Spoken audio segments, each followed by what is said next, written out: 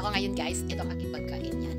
Isang platong rice with chicken na nalagay sa oven.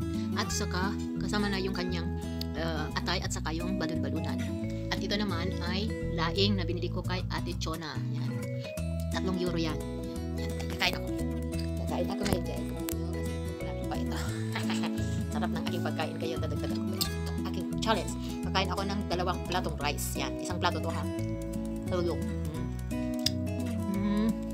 Mm. Mm. Ang aking kasama ay ano siya sa kitchen. Sobrang lamig kasi dito. Kaya, dito ako sa loob. Tingnan ko kung mauubos ko itong ulam ko. Sarap ng laing ko. Ang laing sobrang anghang. Masarap siya. Tama-tama lang sa akin.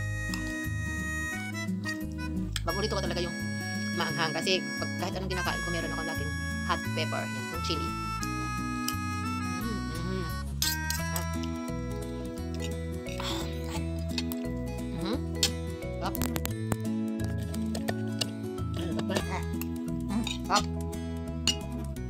Niya, sabi ko, hatiin niya para lumabas.